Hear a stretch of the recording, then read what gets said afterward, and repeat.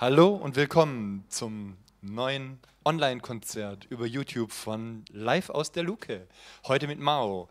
Wir freuen uns, wir freuen uns, dass ihr wieder mit dabei seid und ich kann es nicht oft genug sagen. Dadurch, dass ihr mitschaut und dadurch, dass Künstler tatsächlich so einen Livestream machen möchten, gibt es die Luke noch.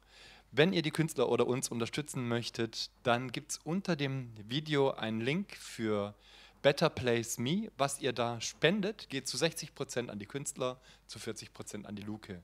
Ist ein paar Tage geschalten. Vielen Dank für alles, was ihr reintut. Ihr könnt natürlich auch unseren YouTube-Kanal abonnieren, wie immer das man bei YouTube macht. Jetzt wünsche ich uns allen einen wunderbaren Abend mit Mao.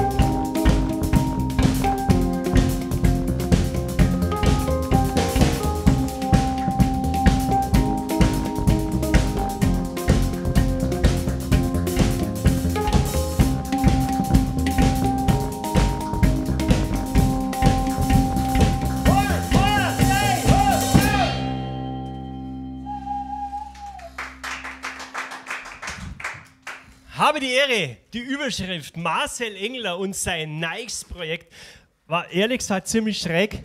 Die Band heißt einfach nur Mau. Was ist jetzt da? Er macht da zwei gleich umeinander. Auf jeden Fall, genau, es ist nicht mein Projekt, es ist unser Projekt und wir freuen uns wahnsinnig, dass wir da halt spielen dürfen. Und äh, ich mache jetzt auch gar nicht lang rum. Ich hoffe, ähm, was, jetzt, jetzt geht es ja gleich mal los. Marcel, ich freue mich sehr. Handpan-Meditation. Na, das ist ganz falsch.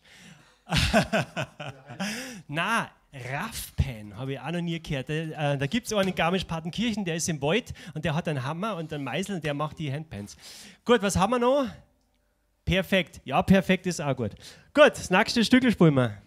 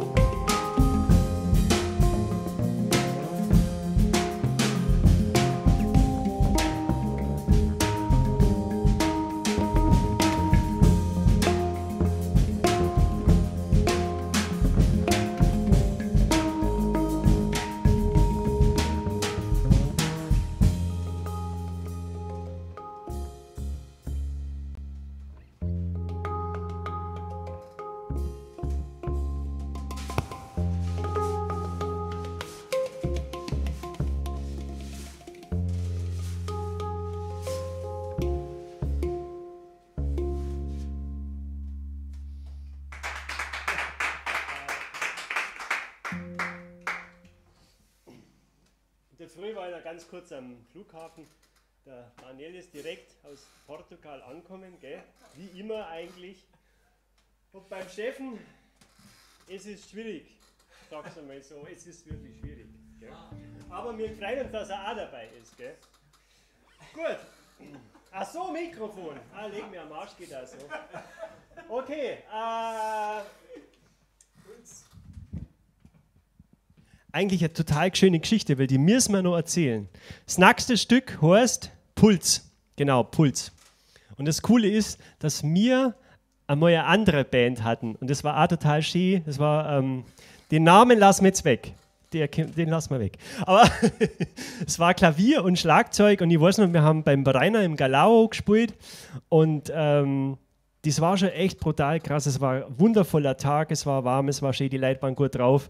Und da waren dann aber Leute, die haben bei dem Stück echt Tränen in die Augen gehabt und das, das vergisst man auch nicht. Wenn, wenn man wenn es schafft als Künstler, dass man jemand berührt mit seiner Energie und mit seiner Musik und was darüber kommt, das ist brutal schön. Und darum freue ich mich, dass wir sozusagen dann jetzt der Stickel wieder äh, in einer völlig anderen Form halt spielen, aber das Stückel gibt es nur, weil uns dieses Stückel für immer verbinden wird. Und eine Verbindung ist wertvoll. Menschlichen, menschliche Verbindungen sind brutal wertvoll.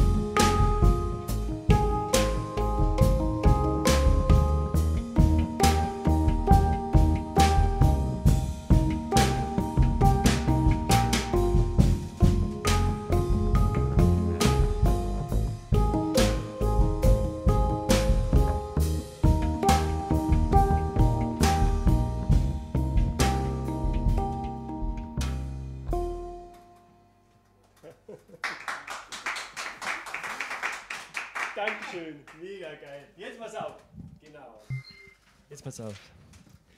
Wie wundervoll ihr doch seid. Hey, das ist so krass, wirklich. Also, ich muss mir jetzt echt zusammenreißen, weil mir holt sowas wirklich brutal ab. Lasst es bleiben.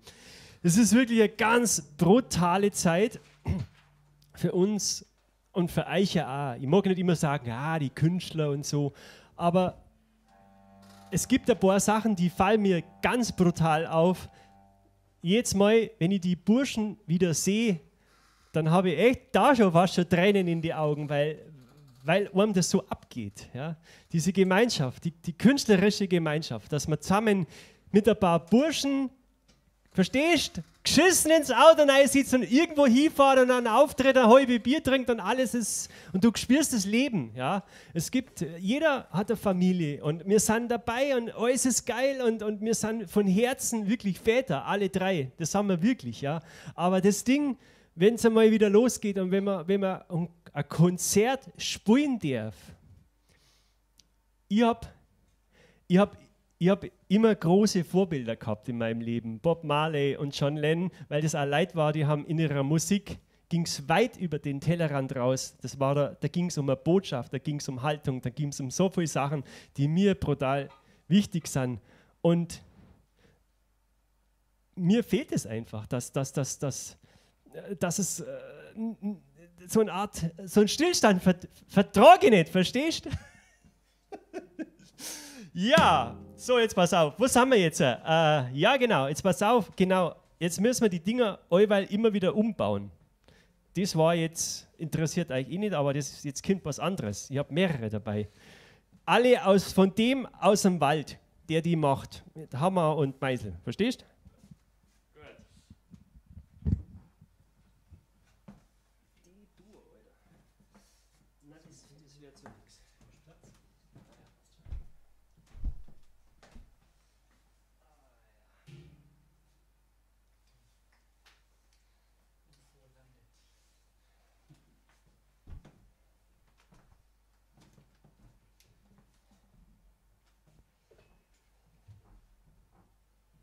Es gibt ein Stückchen, das liegt mir echt sehr am Herzen. Ich spiele es brutal gern, weil ich sage euch, weil das ist ein Stückchen, das ist gut für die Seele. Verstehst? Kann man sich ein bisschen fallen lassen. So, wir gescheit ausrichten. Da zählt jeder Millimeter. Gut.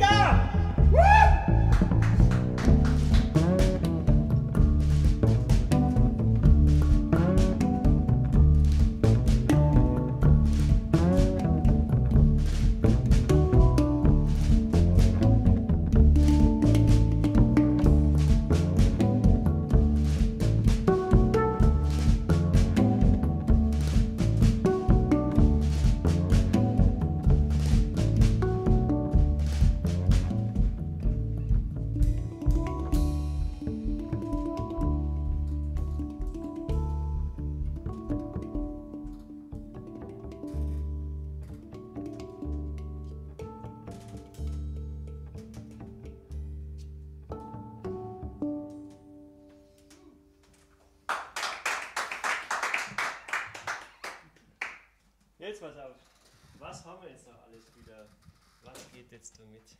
Also brutal viel Yeah und, und Daumen hoch und so. Richtig geil. Sehr schön. Ja, danke. Also wir freuen uns über alles, was ihr da drauf schreibt. Richtig cool.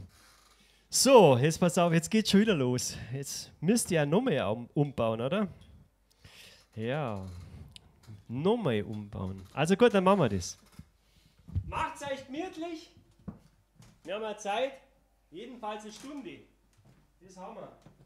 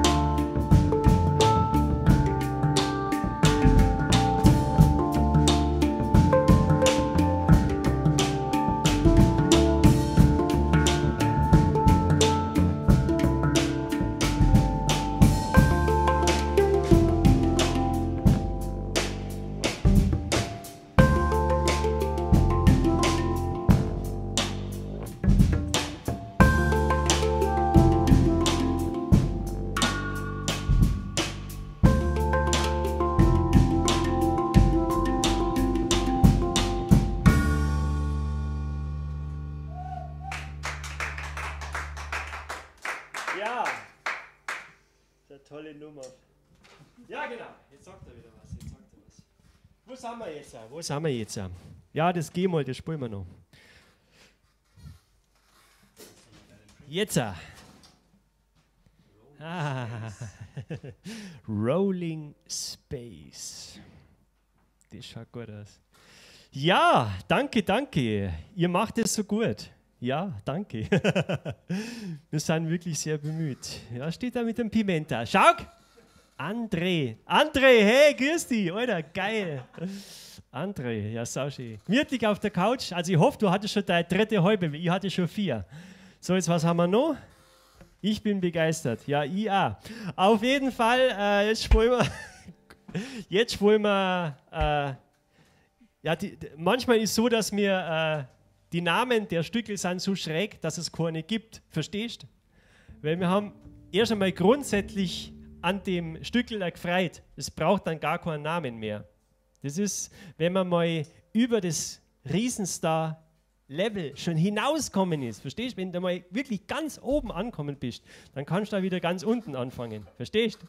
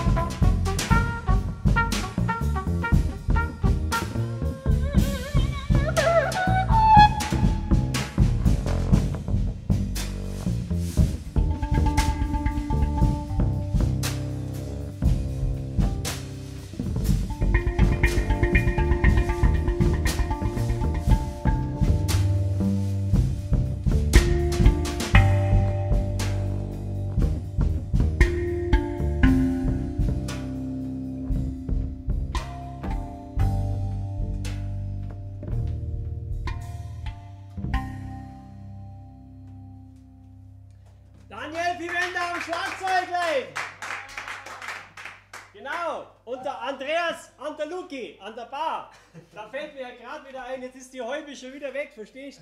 Ja, gut. Äh, genau. Nun geht es ein bisschen darum, genau. Der Mars hat das Mikrofon schon wieder gegessen.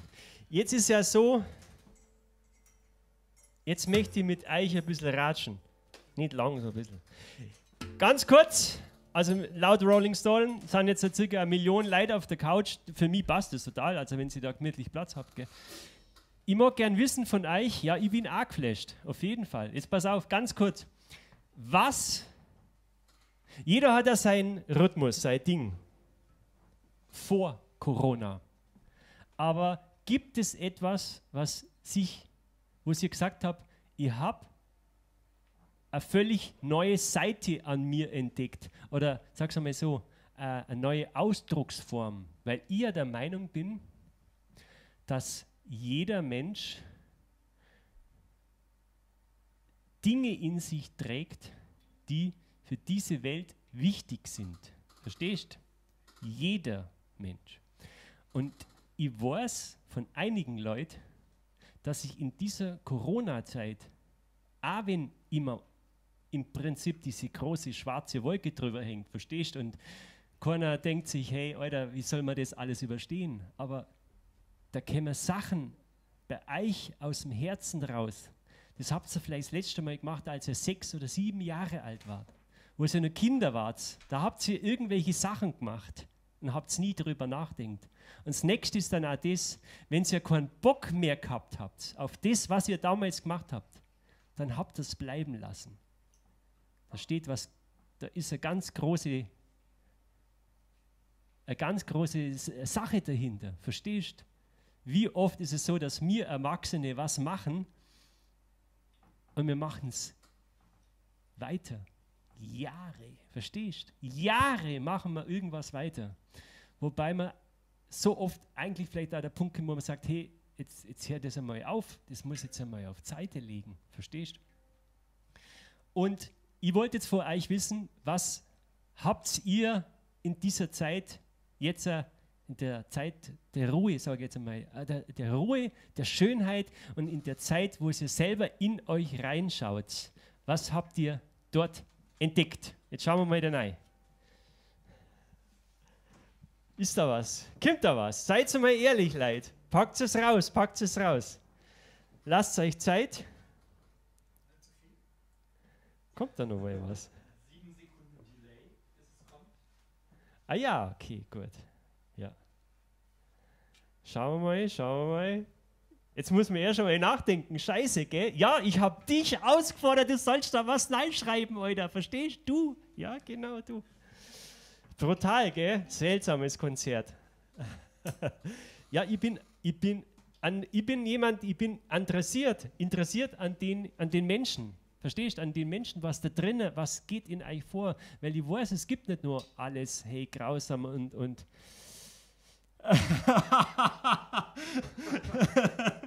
Nein, es gibt nichts. Corona ist doof. Gebe dir recht. Ich gebe dir ja recht. Solo mit Handpan, das ist auch gut. Ja. Ja. Ja, wow, cool. Du bist Straßenmusiker geworden. Okay. Ich hoffe mal, äh, äh, dass, äh, dass das gut geht dabei und dass es geil ist. Äh, ich habe das echt gern gemacht. Fang du doch an. ja, gut, mach ich jetzt gleich. Ja. Also gut. Ja, also ganz kurz. Ich schaue jetzt immer ein bisschen rein, was ihr da schreibt, gell? Vielleicht ist ja noch da. Die Vollbombe kommt noch, oder? Bei mir war es so, ich habe mir war so brutal langweilig, verstehst du? Ich bin daheim gehockt, ich habe echt gedacht, mir haut sein Zündern aus. Ich war echt komplett fertig. Und dann habe ich wieder zum Zeichnen angefangen. Das habe ich früher auch schon gern gemacht. Ich fand Zeichnen immer irgendwie cool. Was ich besonders liebe, ist die Energie eines einzelnen Striches. Kann mit einem Strich ganz etwas ausdrücken, wo man denkt, da müsste jetzt 100.000 Strich malen, aber Ohrstrich hat manchmal so eine schöne Bedeutung. Und ich habe dann angefangen mit, mit, mit Holz und mit Linoleum Drucke zu machen. Und es geht jetzt wirklich gar nicht darum, dass das jetzt eine Werbeveranstaltung wird, sondern ich mag euch das jetzt einmal sagen, weil freilich, wir könnten jetzt hier nochmal zwei Stunden Konzert spielen, äh, bis alle Balla von der Handpan sind, aber ich mag ein bisschen mit euch was zum Tor haben, verstehst?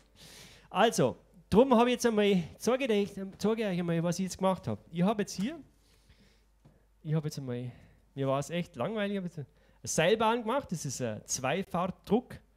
Freilich, Thema Berge, bei mir logisch, gell, versteht ihr ja schon. Und ich habe auch den Markus Söder gemacht. Als Wolperdinger, verstehst du schon, gell? Weil das ist er auf jeden Fall, das sage ich dir gleich. Und als Kanzler wird es noch schlimmer, verstehst du? Und dann habe ich einen Kletterer gemacht. Ihr müsst euch das so vorstellen. Da hat man ein Messer, also ein kleines Messer in der Hand. Und du musst im Negativ denken. Das, was schwarz ist, ist oben. Und das, ist, das andere wird rausgeschnitten. Bei so einer Linie wie das Seil, da wirst blöd, verstehst? So, und dann habe ich noch, äh, die ist jetzt ganz neu, ganz neu, die Eule, genau, Eule muss auch sein, aber jetzt wird es richtig cool. Ich habe in einem alten äh, Stadel, ein altes Heisel in Garmisch-Partenkirchen, das haben sie abgerissen. Und habe ich da äh, ein altes Holz rausgeholt, also verschiedene, das habe ich schon daheim ein bisschen gelagert und das habe ich jetzt wieder entdeckt. Und dann wird es nachher so schön.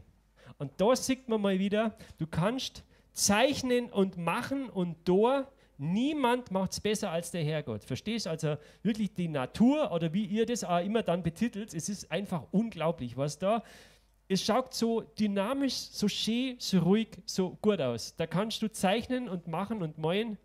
Die Natur macht es allweil besser. So, und war es jetzt schon. Wenn ihr wirklich Interesse habt und sagt, hey, Masi, ich mag, oh, es ist ein bisschen schon auch so, ich habe das ja auch gemacht, weil ich dachte, es wäre ja natürlich Wahnsinn, wenn einer so einen Druck kauft. Verstehst du? Weil es geht ja mit der Musik nicht mehr gut. Ich habe auch kein Geld mehr. Verstehst du? Und ist ja so. Verstehst du? Und, und es ist natürlich der Wahnsinn, wenn ihr sagt, hey, wir, wir, wollen den Typen, der ist so schräg, ich mag den ein bisschen unterstützen, ich mag dir so einen Druck abkaufen, dann darf ihr das machen. Und das Ding heißt Wilderer Prinz. Verstehst du? Wilderer ist also äh, der Wilderer, der in den Berg, der mit dem Gewehr früher. Und Prinz, Druck, verstehst du? Wilderer Prinz. Und das gibt es dann auch bei Facebook und bei Insta. Und das war es jetzt aber dann auch. Ihr wollt äh, da kein Riesending draus machen. Was spielen wir jetzt? Äh? Was spielen wir jetzt? Jetzt spielen wir Mongole, oder? Also gut, das Kind der Mongole. Muss ich noch mal umbauen, gell? Verstehst du schon? Ah. Gibt es noch gute Beiträge? Homepage posten, leg mir am Arsch, wir haben doch keine Homepage. Linol, äh, gibt es da eine Homepage? Linol-Schnitte? Na, bei der Linol ist wirklich so, ich habe wirklich bloß eine Facebook-Seite Wilderer Prinz und Wilderer Prinz bei Instagram. Es gibt keine Homepage. Alles ein bisschen so underground. Verstehst du?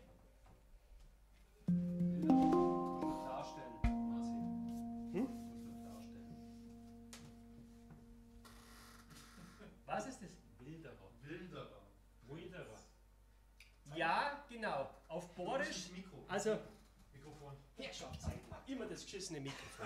Auf Borisch heißt es Wilderer. Verstehst du? Nicht Wilderer, sondern Wilderer. Ah ja, genau, auf dem Deckel drauf habe ich es, gell? Da ist Kischel gemacht. Seht ihr das?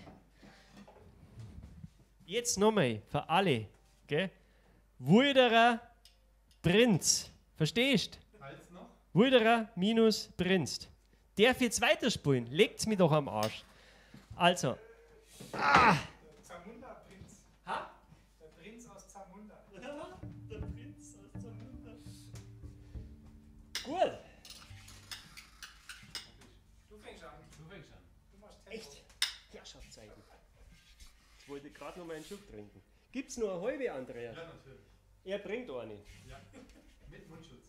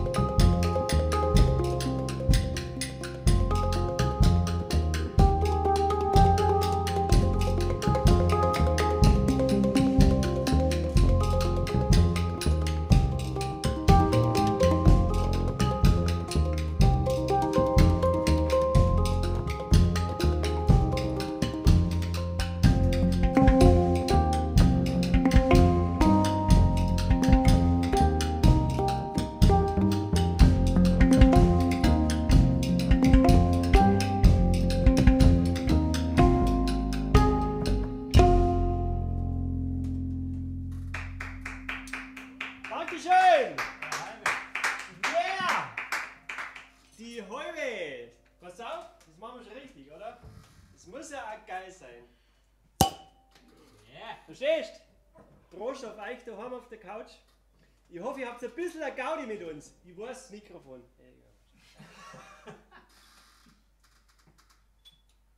Die ist gut, verstehst? So leid, es geht ganz langsam. Geht's Richtung Ende.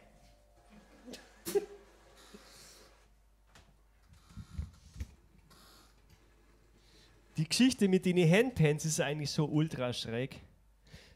Letztes Jahr, als der ganze Wahnsinn äh, begann, habe ich dann erst einmal, das darf mir keiner erzählen, gell? aber ich habe Flaschengärten gemacht, Alter, verstehst du? Flaschengärten. Fünf Liter Glasel und da habe ich dann so alpine Landschaften reinbaut. Aber das ist auch nicht so lang gut gegangen, weil freilich, das kannst du ja auch nicht verschicken und dann ist es eine Hermetosphäre, alles super schwierig auch. Äh, und es war dann auch der gleiche Zeitraum, verstehst du, irgendwie dann äh, Naturclash und so. Und dann wurde es noch esoterischer und dann habe ich mir die erste Handpan gekauft. Ins, es war so schlimm, ehrlich gesagt. Und ich habe dann auch, bitte seid mir nicht besser, aber ich habe wirklich allweil immer so die Leute mit diesen äh, ähm, Yoga-Schlaghosen und die lange Haare ähm, auf der Straße äh, zum Sitzen da mit der Handpan. Leute, alles total cool, macht das weiter, aber meins ist das nicht. Ihr wollt gleich, dass man dem Instrument ein bisschen, das muss auf ein Stativ rauf und äh, ich, ich, ich habe gleich also ein bisschen gespielt mit zwei verschiedenen Tonarten, das ist zum Beispiel G und F, Verstehst du, wenn du jetzt da eine auf dem Schoß hast und du spulst da im Kreis, ja, dann das kann man schon machen und das ist auch für einen selber cool und vielleicht dann auch wirklich zur Straßenmusik, wenn einer vorbeigeht, weil es wechselt ja die ganze Zeit. Aber ein Konzert spielen auf einer Handpan, das kann ich nicht machen. verstehst du, selbst wenn ich 20 Jahre üben da, das ist irgendwie super, verstehst du, aber ich mag Musik spielen. Und in, interessant finde ich dann wirklich in dem Moment, wo die Musik zum, zum Hand, zu einer Mannschaftsspiel wird und mit denen zwei, dann macht so bitte jetzt mal von der, von, der, von der Couch aus einen riesen Applaus, das ist doch der Wahnsinn, die Burschen. Das ist einfach Wahnsinn. Verstehst? Moni ja. Moni ja. Genau, und das ist jetzt das Schöne, dass jetzt, jetzt sind die Dinger da und verrückt war schon ein bisschen, man sagt ja, man kriegt dann irgendwie einen Rappel im Hirn und den habe ich schon auch gehabt, weil ich habe dann, oh, ich mag noch mal eine kaufen, noch mal eine kaufen, noch mal eine und jetzt habe ich schon recht viel und ich freue mich echt immer wieder, wenn man es aus der Tasche rausholt und du schlägst es an. Es ist so krass. Es ist einfach, hä? Verstehst du, das ist irgendwie Magic, das, das geht durch. Es gibt ein Leid, dem Sound, also ich bin der Meinung, man kann sich dem Sound nicht so richtig entziehen. Es gibt aber auch Leute, die hassen das, verstehst du? Weil sie sie auf irgendeine Form berührt und damit kann man nicht immer umgehen. Das, die Frequenz, das macht schon was mit Ohren. Also irgendwo geht es hin, verstehst? Und das ist super interessant, das ist äh, also eine Zungentrommel. Ihr seht es ja vielleicht auch ein bisschen im Video, das schaut komplett anders aus. Und äh, das ist ein irres Teil aber wie ich finde, nur gut zur Ergänzung. Wirklich super interessant zur Ergänzung zum Spielen. Interessanter Sound, nochmal komplett anders wie komplett anderer Sound, aber super interessant und gerade zwei, zwei in Kombination Magic. So, jetzt spielen wir ein Elephant Club. Verstehst? Gut.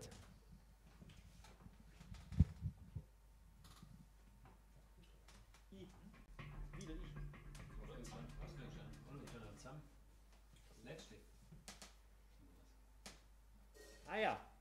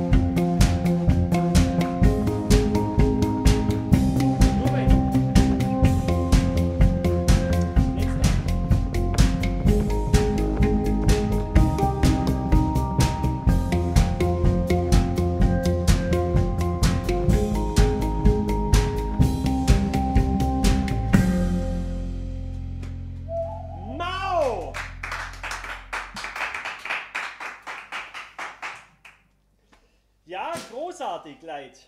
Also, es wäre jetzt tatsächlich soweit, wir ähm, hätten jetzt im Prinzip, war es jetzt schon rum, verstehst Aber wir kannten, also wir kannten, wenn jetzt alle komplett durchdrehen, was ihr auf jeden Fall macht, ist ja klar.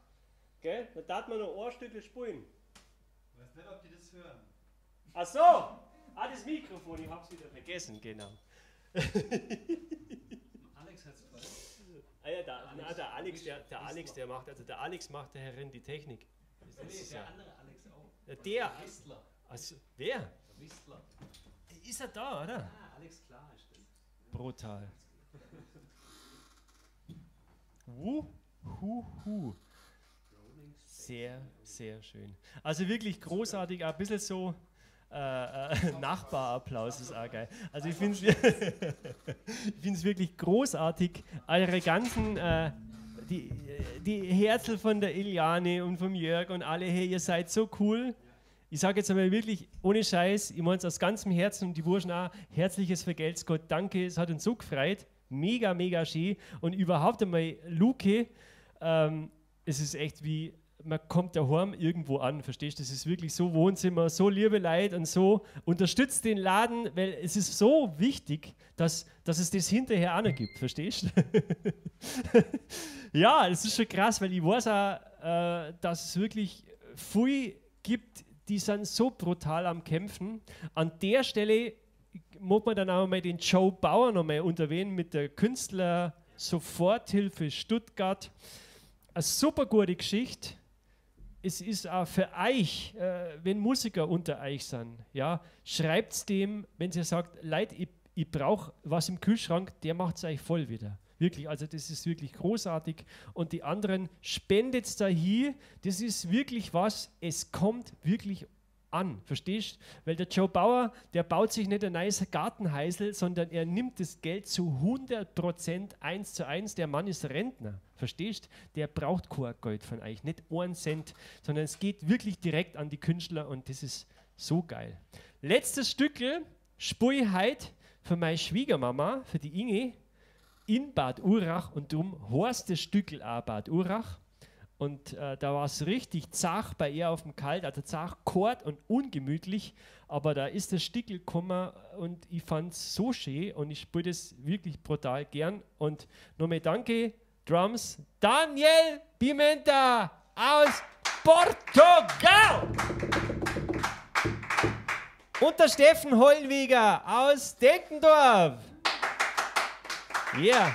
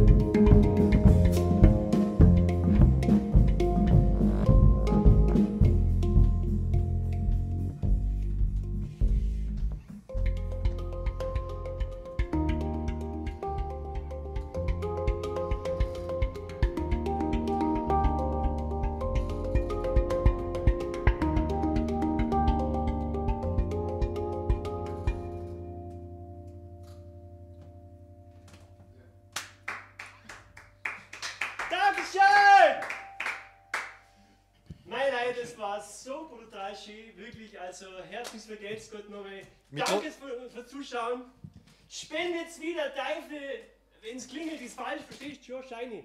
Verstehst Genau, wir, wir brauchen's. Wir brauchen, na, ohne Scheiß, wir brauchen, spendet's für die Musik, für, fürs Herz, verstehst Mir, mir hat das jetzt so gefreut gemacht, einmal wieder auf einer Bühne zu stehen.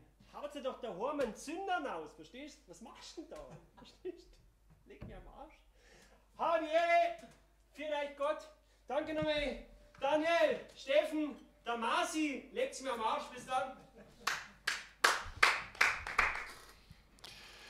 Ja, vielen Dank, Mao. Wunderbares Konzert, fantastisch. Toll, dass ihr alle mit dabei seid. So viele, ihr habt es genossen, wir haben es gelesen. Herzerfrischende Kunst. Musik ist Balsam für die Seele. Danke, Melanie. Wie Marci schon gesagt hat, es gibt die Möglichkeit, die Künstler und auch die Luke zu unterstützen. Unter dem Video ist der Link zu Better Place Me. 60% gehen an die Künstler, 40% an die Luke und die Technik. Vielen Dank für alles, was ihr reintut. Ich denke, es trifft genau ins Schwarze. Bis zum Samstag, da sehen wir uns wieder mit Tess Wiley.